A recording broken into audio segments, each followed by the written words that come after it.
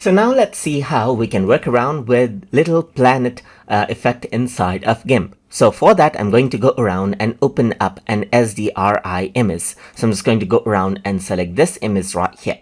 So now what I'm going to do is I'm simply going to go around and open this and with the SDRI image what happens is that the first and last um, uh, sections right here are interconnected right here.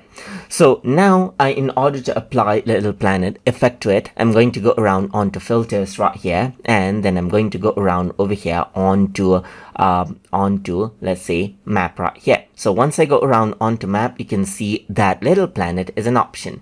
And once you do that, you can see that it takes the image and then turns it into a little planet. So you can go around and pan it around and rotate out the little planet as you can see. You can tilt it out right here so that you can see that the planet is more towards the bottom or the top right here just like this as you want and you can spin it around as well to uh, like position it wherever you want you can also go around and zoom in and zoom out of the planet right here just like this and then choose around how you want to go around and then um, sample as well, that resample that is. You can also work around with the opacity as you can see right here. You can go around and see the preview, turn it off or on, or work around with the split view around over here as well.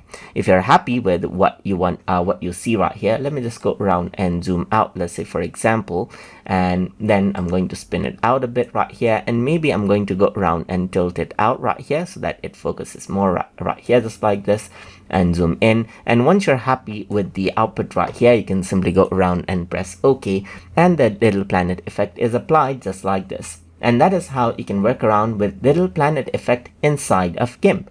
So I hope you guys learned something as always. And as always, please like, comment, share, and subscribe.